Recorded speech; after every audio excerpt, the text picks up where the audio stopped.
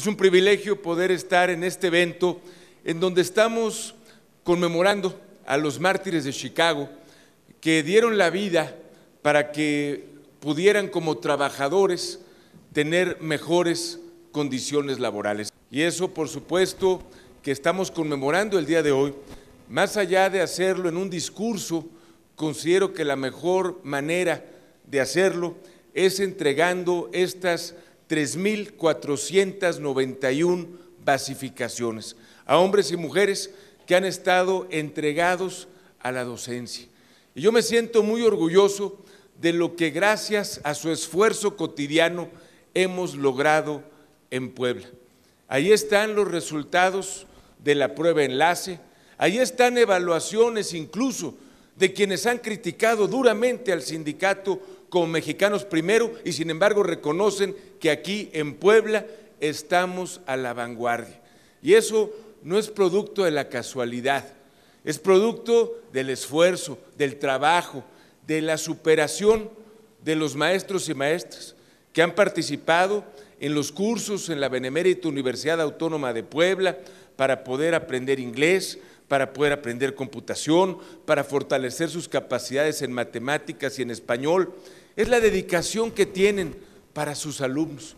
Y por eso la manera en que hoy, a través de mí los poblanos, les damos las gracias, es entregando estas basificaciones. Y yo por eso no dejo de presumir a los maestros y maestras de Puebla, porque ahí están los resultados en la calidad educativa.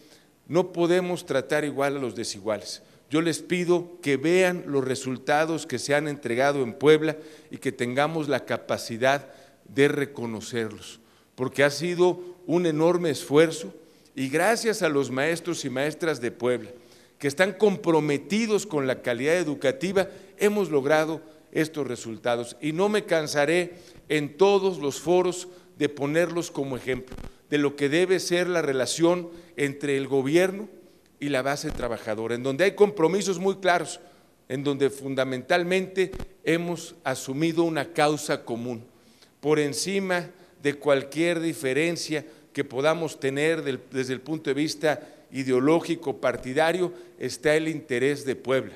Y el interés de Puebla, por supuesto, es la formación de hombres y mujeres de bien. Y ustedes tienen esa enorme responsabilidad. Y no puedo más que agradecer el compromiso que han asumido y los resultados que han obtenido.